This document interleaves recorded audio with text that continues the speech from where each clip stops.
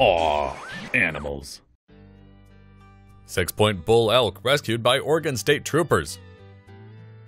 On December 27th, Fish and Wildlife troopers in Prineville, Oregon, rescued the six point bull elk after responding to a call.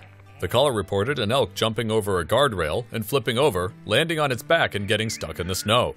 The troopers were on patrol looking for anglers and migratory bird hunters in the Crooked River area when they got the report.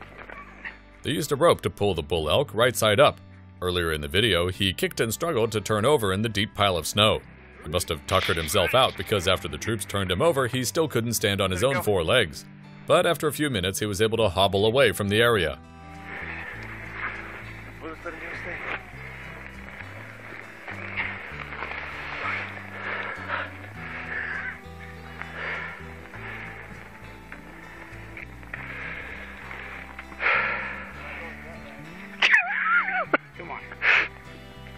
Oregon State Police posted the video of the triumphant rescue to their YouTube account and made a note that the time code in the video is incorrect. The winter rescue actually occurred in December.